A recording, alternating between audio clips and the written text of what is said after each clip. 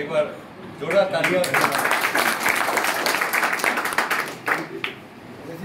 विदिशा जिला के गजबा सौदा में भारतीय जनता पार्टी की समर्पण निधि अभियान की समीक्षा बैठक संपन्न हुई। नमस्कार, मैं हूँ शिवम कुशवाहा और आप देख रहे हैं द खबरदार न्यूज़। मध्य प्रदेश में बीजेपी का समर्पण निधि अभियान जारी है। यह अभियान नेताओं और संगठन के समन्वय को तो सामने लाएगा ही, साथ में संगठन को मिलने वाले सहयोग का भी हिसाब किताब बताएगा। ऐसा इसलिए क्यूँकी अभियान में बड़े बड़े नेताओं और सरकार के मंत्रियों को भी ज़िम्मेदारी सौंपी गई है। राज्य में भारतीय जनता पार्टी ने इस बार समर्पण निधि के तौर पर लगभग लगभग डेढ़ सौ करोड़ रुपए का लक्ष्य रखा है, जो कि पहले 10 से 15 करोड़ के आसपास ही हुआ करता था। इस बार संगठन ने राशि को लगभग 10 गुना कर नई रणनीति पर काम शुरू किया है। ज़िले स्तर पर भी टारगेट बढ़ाए गए हैं। इसी क्रम में आज विदिशा ज़िले के गंजबा सौदा में समर्पण निधि अभियान को लेकर स्थानीय विश्राम गृह में भारतीय जनता पार्टी के समस्त मंडलों के एवं जिला के कार्यकर्ताओं की एक बैठक रखी गई जिसमें भारतीय जनता पार्टी समर्पण निधि अभियान के जिला के प्रभारी मुकेश टंडन के द्वारा सभी कार्यकर्ताओं को इस विषय पर संबोधित किया किया गया एवं उनको लक्ष्य तक पहुँचने के लिए प्रेरित किया गया। जब अनादि टीवी की टीम ने इस अभियान के बारे में जब उनसे पूछा तो उन्होंने बताया कि समर्पण निधि अभियान भारतीय जनता पार्टी के लिए कोई नया नहीं है। पहले भी पार्टी के कार्यकर्ता पार्टी के लिए ऐसा करते आए हैं। हाँ इस बार कुछ लक्ष्य बड़ा है। इसे सभी बूथ स्तर तक के कार्यकर्ता मिलकर निश्चित ही पूरा कर लेंगे। जब हमारी टीम ने भारतीय जनता पार्टी के जिला अध्यक्ष डॉक्टर राकेश सिंह जादौन से पूछा तो उन्होंने भी बताया कि पार्टी के जो खर्च होते हैं, वैसी समर्पण निधि के द्वारा किए जाते हैं और हमारे ज़िले में लगभग इकतीस मार्च तक यह लक्ष्य प्राप्त कर लिया जाएगा। विदिशा गंजबा सौदा से हमारे रिपोर्टर आशीष सहेली की रिपोर्ट। बने रहिए द खबरदार न्यूज़ के साथ।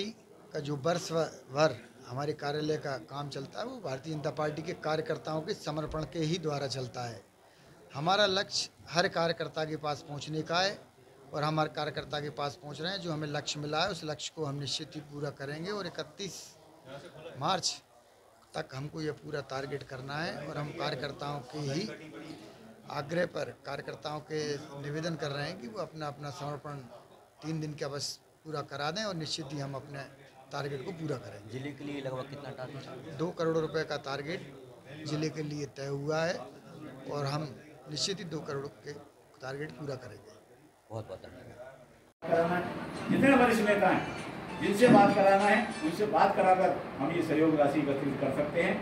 मेरे को पूरा विश्वास है कि गंज बाईस तारीख हो गई, अट्ठाईस, उनतीस, तीस तारीख को हर हालत में सन्नी भाई जमा करना है। तीस तारीख को हर हालत में ये राशि जमा करना है और तीस तारीख तक मुझे लगता है कि आप लोग अगर आज से अभी से जुट गए, जिन लोगों के पास कट्टे हैं, सूची बना लें, आपसे बात बीच में अपनी बात रखना पड़ेगी।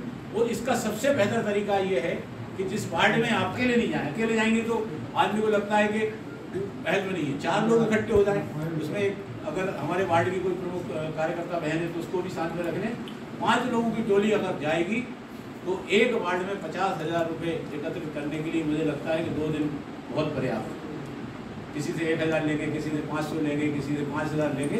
पचास हज़ार रुपये की राशि इस मंडल में आसानी से इकट्ठी एक वार्ड में की जा सकती है।